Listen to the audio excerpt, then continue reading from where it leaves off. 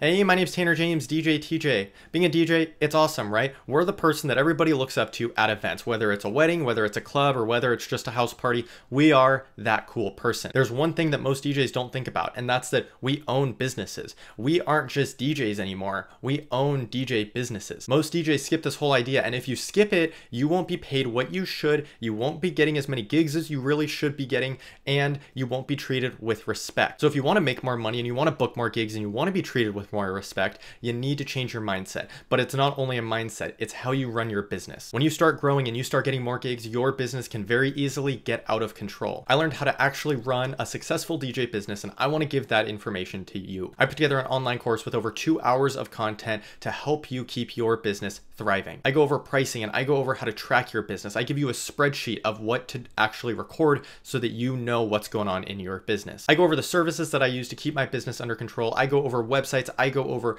business cards, what to do, what to put on your cards, what not to put on your cards, how to use social media effectively, the undercutting DJs that keep stealing your work. I tell you how to beat them. I go over debt, business debt. There's so much awesome content that has helped me successfully keep my business under control, and I want to give it to you. Don't wait until something bad happens to your business. Hit the button below, go to the next page, sign up for the course, learn what to do so that we can get you having a successful DJ business.